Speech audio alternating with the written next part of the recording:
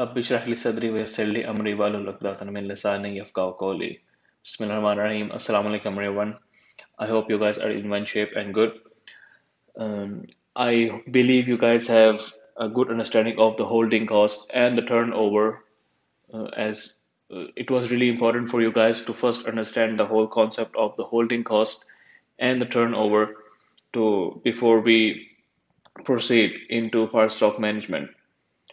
The last time when we uh, we were going through this PowerPoint presentation, uh, this this is the page where we left off, and I'm just gonna go through these points once again just to refresh your minds that uh, when we are uh, going through this uh, reordering phase, we need to understand which what are the main points of focus that we need to keep in mind. Which one is what parts, what are the parts that we need to order? We cannot just order each and every part in the warehouse.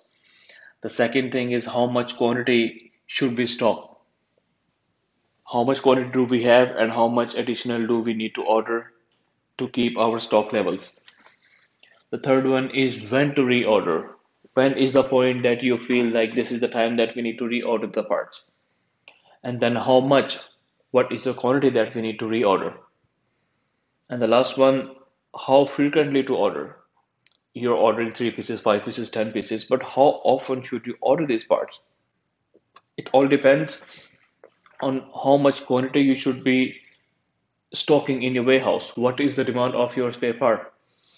To, um, to get a better understanding on this one, we're going to go through the product life cycle. The basic idea is pretty simple. It's like each and every thing which exists in this universe has a life cycle. There's a start, there's a middle, and there's an end.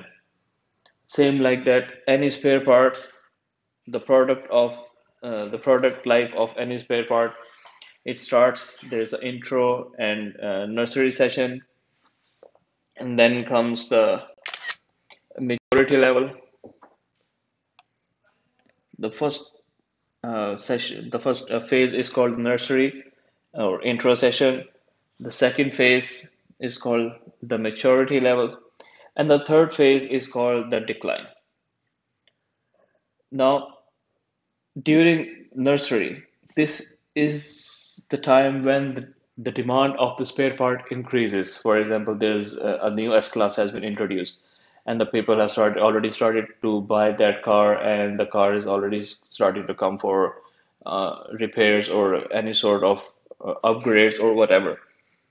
So this is the time this is called the nursery and intro part. This is the time where the demand is increasing time by time time more people are buying the car the, the parts especially for the service item is, is increasing. And this is the time you need to consider your sales are rapidly going high. So you need to see what how fast is the movement of the parts of selling, how faster they're being used, and how much more do you need for the next three or six or 12 months, depends on how you are forecasting. Then there is the maturity level. This is the level that the part is highly in demand.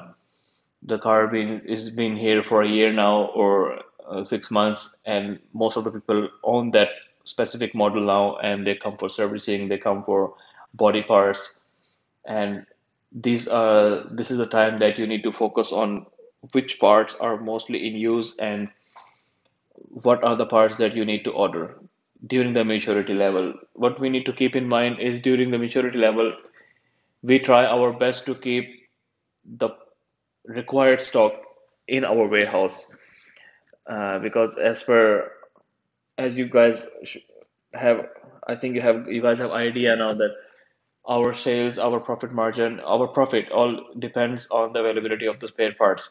If the part is not available and the customer is going to go to our competitors and this is not good for the business.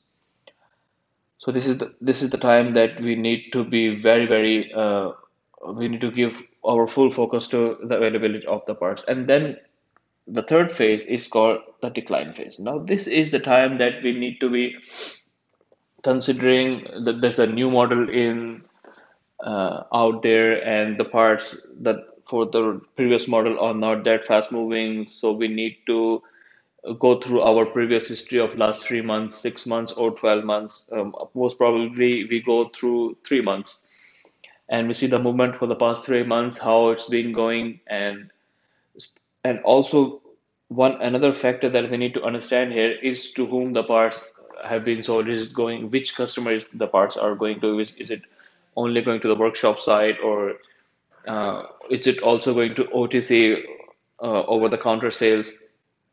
For example, if the part is usually used in the workshop and monthly 10 filters are going to the workshop. So for the last, that shows that for the past three months, the sales was 30 pieces.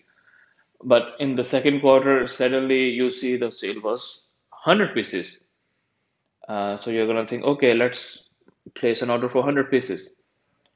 But what you need to understand here that quarter before that the sale was 30 pieces, quarter before that the sale was 35 pieces. Why suddenly the the sale is so high? And then you're gonna go through to which the part was sold. Was it a one-time sale? What is uh, what's happening?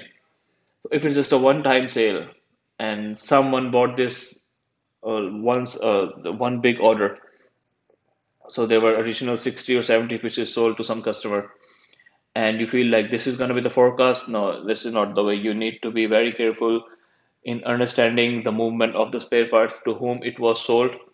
And if there is a sudden rise or a decline, then you need to go through and you need to check your sales, what's happening uh, before you reorder anything. So this is the simple concept of uh, life cycle of any product.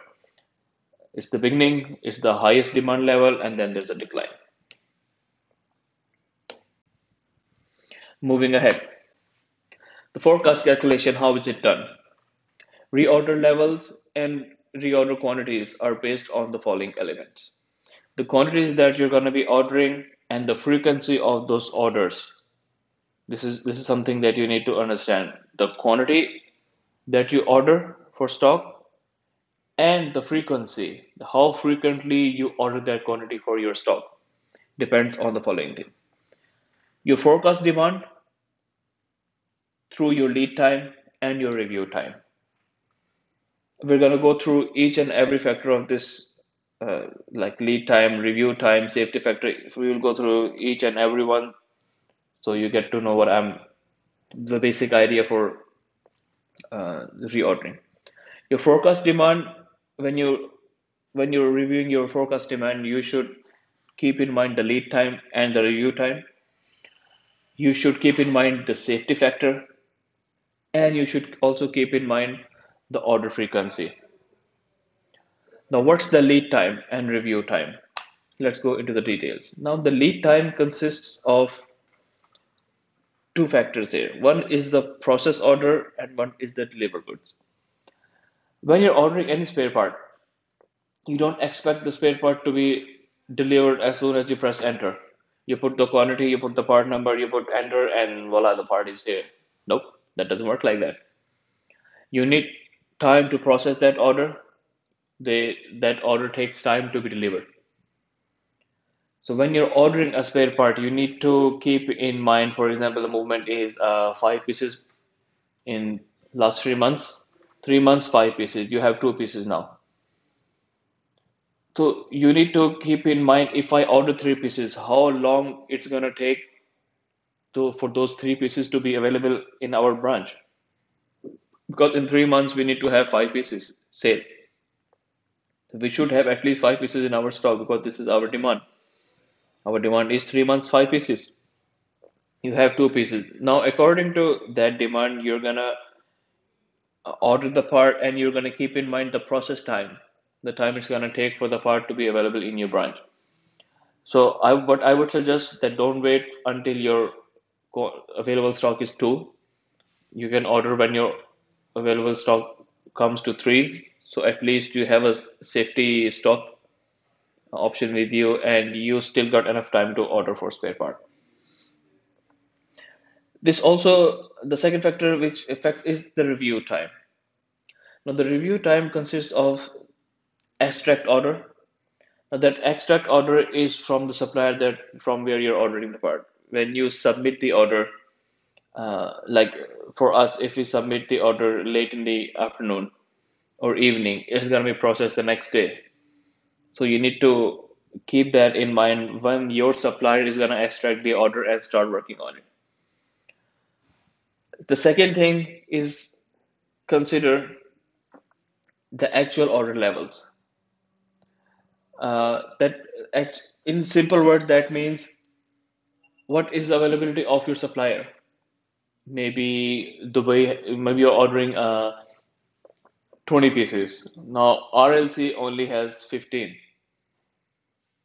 Now they're gonna send you the 15 pieces after fulfilling all the VOR orders, vehicle off-road orders. So there's a priority of demand. The stock orders are not as high priority as uh, the VOR orders. If the vehicle is off-road, you need to understand and you need to keep that in mind. You're ordering a stock order, so the supplier is going to fulfill the high priority orders first, and then they're going to move to your order. So even if you saw at the time of order there were 20 pieces available in RLC or with your supplier, so that doesn't mean that they're going to send you all the 20 pieces. They will send you if they don't have any higher priority order. But if they fulfill their high priority orders and they're left with only 15 pieces in their stock, so first they they're gonna send you only 15 pieces and then they're gonna reorder stock from GLC or from their supplier or whatever. So you need to consider the possibility that the the stock from where you're ordering the stock quantity, it might change after you place the order and you need to keep that time review review time in your mind.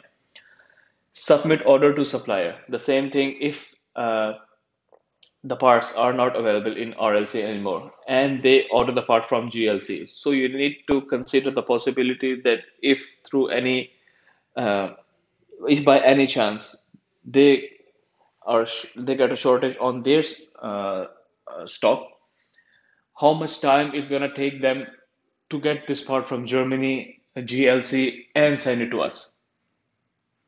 So this is also one possibility that you need to keep in mind when we're ordering for stock. Then it comes to our receiving. And receiving means it's not uh, the time that you receive and you unload. The parts are going to be loaded on a trailer. The trailer is going to take seven to eight days or 10 days, depending on the customs and so many other things, uh, the licensing, uh, the uh, like we have so many requirements even uh, in Saudi Arabia here.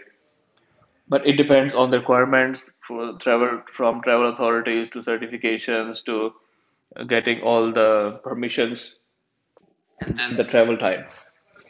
So this time that you're gonna wait for the items to be received, including your checking, when the parts when you receive the trailer, you're gonna unload it and you're gonna check those spare parts. And then you're gonna store them into the location. So this period of time also comes under the review time. Then it's updating of your storage quantity.